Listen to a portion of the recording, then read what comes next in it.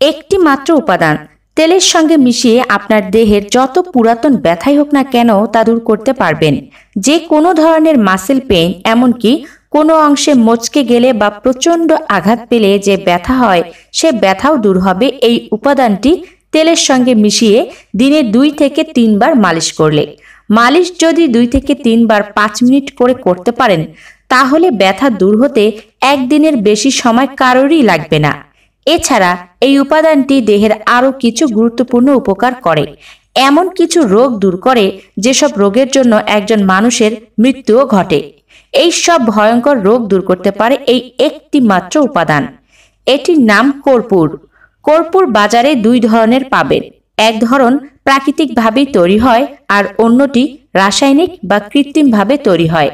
আপনি যে ধরনের কর্পূর কিনবেন তা যেন অবশ্যই প্রাকৃতিকভাবে তৈরি কর্পূর হয়। এই কর্পূর আপনি কোনোভাবেই খাবেন না বা শরীরের ইন্টারনাল কোনো অংশে প্রবেশ করাবেন না। কিন্তু বাহ্যিকভাবে এই কর্পূর আপনার বিভিন্ন উপকার করে থাকবে। যেমন, কখনো যদি কারও শ্বাসকষ্ট হতে থাকে বা তীব্র শ্বাসকষ্টের জন্য কারও যদি দম বন্ধ হয়ে আসার উপক্রম হয় তাহলে এই কর্পূর হাতের ওপরে নিয়ে নাকের সামনে ধরুন এবং আস্তে আস্তে করে শ্বাস নিতে থাকুন। ধীরে ধীরে শ্বাস নেওয়ার ক্ষমতা আপনার বাড়তেই থাকবে। দীর্ঘ লম্বা শ্বাস নেবেন। আরও একভাবে কর্পূর দিয়ে এই শ্বাসকষ্ট দূর করতে পারবেন। তা হলো, একটি পুটলির মধ্যে কর্পূর রাখুন এক দলা। এর মধ্যে সামান্য পরিমাণ জোয়ান দানা বা আজওয়াইন গুঁড়ো করে দিয়ে দিন। এবারে এটি খুব ভালো করে হাত দিয়ে ঘষে ঘষে আপনার নাকের কাছে ধরুন। অর্থাৎ সুতি কাপড়ে মোড়ানো কর্পূর এবং জোয়ানের পুটলিটা নাকের কাছে ধরে দীর্ঘ শ্বাস নিতে থাকুন। কিছুক্ষণের মধ্যেই দেখবেন যে আপনার শ্বাসকষ্ট দূর হয়ে গেছে। আপনি খুব স্বাভাবিকভাবে শ্বাস নিতে পারছেন। যে কোনো বয়সের যে কোনো মানুষ যদি কফজনিত রোগে আক্রান্ত হন বা কফের কারণে ফুসফুসে ইনফেকশন হয়ে যায়, বুকে কফ জমার কারণে কাশি হতে থাকে, নাক বন্ধ হয়ে যায়, তাহলে সামান্য পরিমাণ সরিষার তেলের সঙ্গে কর্পূর মিশিয়ে নিন। অবশ্যই সরিষার তেল গরম করে নেবেন এবং গরম তেলের সঙ্গে কর্পূর ভালো করে মিশিয়ে নিয়ে আপনার বুকে, নাকের চারপাশে, গলায় ধীরে ধীরে মালিশ করুন। কিছুক্ষণের মধ্যেই দেখবেন কফ তরল হয়ে বের হতে শুরু করেছে এবং বন্ধ নাকও খুলে যাবে। এই রকম দিনে দুইবার করলে তিন দিনের মধ্যে এই ধরনের কফজনিত রোগ আপনি দূর করতে পারবেন। যদি কখনো শরীরে কোনো র্যাশ, অ্যালার্জি, চুলকানির কারণে শরীর ফুলে যায়, চাকা চাকা হয়ে লাল হয়ে যায় বা অসম্ভব রকম চুলকাতে থাকে বা যে কোনো কীট পতঙ্গের কামড়ের দাগ হয়ে যায়, ত্বকে চুলকানি হয়, ফুলে যায়, এই ধরনের যে কোনো সমস্যা হলে কর্পূর নিয়ে নেবেন এবং এটি পানির সঙ্গে সুন্দর করে মিশিয়ে নেবেন। কতটুকু পরিমাণ কর্পূর নেবেন? আপনি খুব সামান্য, অর্থাৎ আপনার আঙ্গুল দিয়ে তিন থেকে চার চিমটি পরিমাণ কর্পূর নেবেন এবং এক চামচ পানির সঙ্গে মিশিয়ে নেবেন। তাহলে বুঝতেই পারছেন কতটুকু পরিমাণ কর্পূর কতটুকু পানিতে মেশাতে হবে। এই অনুযায়ী আপনি ভালো করে মিশিয়ে নেবেন। যদি আপনার আক্রান্ত স্থান বেশি হয়ে থাকে, র্যাশ, অ্যালার্জি, চুলকানি, শরীরের অধিকাংশ জায়গা জুড়ে হয়ে থাকে, সেই অনুযায়ী আপনি কর্পূর এবং পানির পরিমাণও বাড়িয়ে নেবেন।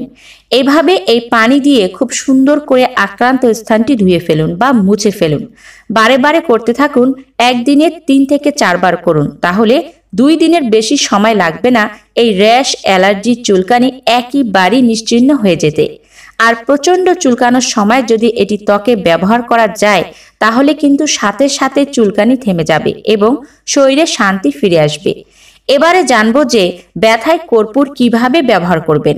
যদি শরীরে প্রচণ্ড ব্যথা হয়ে থাকে, সেটা মাসেল পেইন হতে পারে বা হাড়ের যে কোনো ধরনের ব্যথা হতে পারে। আঘাত লাগার কারণে ব্যথা হতে পারে, যে ধরনের ব্যথাই হোক না কেন। আপনি সরিষার তেলের সঙ্গে কর্পূর মিশিয়ে ব্যবহার করবেন। সেক্ষেত্রে আপনি এটি জাল করবেন না বা গরম করবেন না। একদম বিশুদ্ধ সরিষার তেল আপনাকে নিতে হবে এবং তা অবশ্যই কাচের জারে বা কাচের শিশিতে নিয়ে নেবেন। প্রতি একশো গ্রাম তেলের জন্য আপনাকে পঁচিশ গ্রাম পরিমাণ কর্পূর ব্যবহার করতে হবে। এই অনুযায়ী আপনি সরিষার তেলে কর্পূর মিশিয়ে খুব ভালো করে ঝাঁকিয়ে ঝাঁকিয়ে মিশিয়ে নেবেন।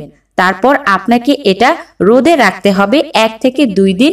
টানা রোদে তিন থেকে চার ঘণ্টা রেখে দিন। এবার এই কর্পূর তেল আপনার ব্যথা দূর করার জন্য খুব দ্রুত কাজ করতে পারবে। শুধু আপনার ব্যথার স্থানে অথবা সারা দেহেই মালিশ করুন। মালিশের পরে দেখবেন যে আপনার শরীর আগের থেকে অনেক বেশি ঝরঝরে হয়ে গেছে। যাদের ব্যথা থাকবে, তাদের ব্যথা একই বাড়ি চলে যাবে। হাঁটতে গেলে যদি কখনো পা মচকে যায়, দেহের যে কোনো জায়গায় আঘাত লাগে, তৎক্ষণাৎ এই কর্পূর তেল খুব সুন্দর করে মালিশ করুন। মালিশ করা হয়ে গেলে একটি টাওয়াল ভাঁজ করে গরম পানিতে চুবিয়ে তা নিয়ে সেই ব্যথার স্থানে চাপ দিন অথবা এক্ষেত্রে আপনি হট ওয়াটার ব্যাগও ব্যবহার করতে পারেন। এতে ব্যথা গায়েব হয়ে যাবে। যদি কেউ ব্রণ দূর করার জন্য কর্পূর ব্যবহার করতে চান, সেক্ষেত্রে খুব ভালো ফল পাবেন। তখন আপনি এই কর্পূর শুধুমাত্র অ্যালোভেরার সঙ্গে মিশিয়ে ব্যবহার করতে পারেন অথবা সামান্য পরিমাণ নারিকেলের তেলের সঙ্গে অথবা অলিভ অয়েলের সঙ্গে কর্পূর মিশিয়ে ব্রণযুক্ত স্থানে লাগিয়ে রাখুন। এক থেকে দুই দিনের মধ্যে দাগসহ ব্রণ ভালো হয়ে যাবে। কেউ যদি চুল পড়ার সমস্যায় কর্পূর ব্যবহার করতে চান, তাহলেও নারিকেলের তেলের সঙ্গে মিশিয়ে গোসলের আধা ঘণ্টা আগে স্ক্যাল্পে ভালো করে লাগান। দেখবেন যে দুই থেকে তিন দিনের মধ্যে চুল পড়ার সমস্যা দূর হয়ে গেছে। সেই সঙ্গে খুশকিও দূর হয়ে যাবে। এই ছিল আজকের গুরুত্বপূর্ণ ভিডিও। ভিডিওটি ভালো লাগলে অবশ্যই লাইক দিন, সেই সাথে প্রচুর মাত্রায় শেয়ার করে দিন। সবাই ভালো থাকুন, সুস্থ থাকুন। দেখা হচ্ছে পরবর্তী কোনো এক ভিডিওতে। ধন্যবাদ।